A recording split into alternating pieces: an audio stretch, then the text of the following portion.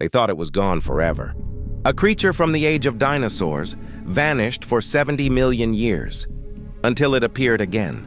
This is the coelacanth, a fish scientists believed went extinct with the dinosaurs.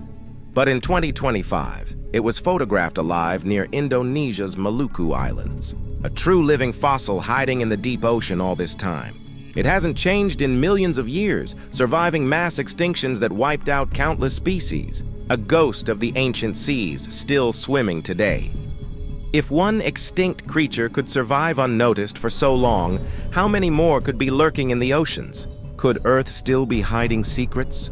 Or are aliens studying these survivors to unlock the mysteries of life itself?